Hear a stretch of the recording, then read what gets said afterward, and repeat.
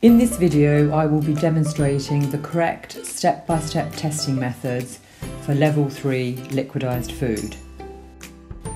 The emphasis at this level is on smoothness and the correct thickness. There should definitely be no lumps.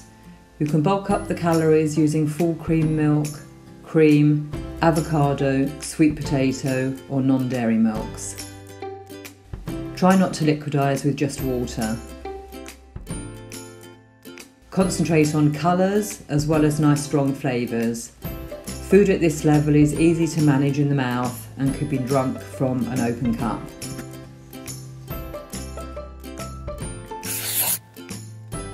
For this test, spoon the mixture onto the fork.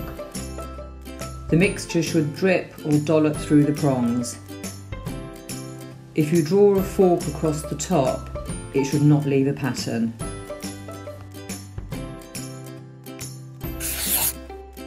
Food and drink at level 3 should pour from the spoon when tilted without sticking to it.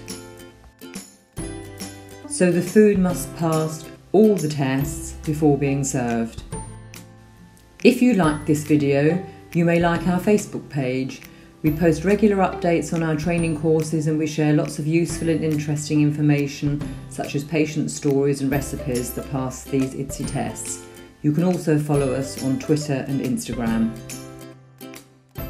Or send us an email at dhc.dysphagiatraining at nhs.net.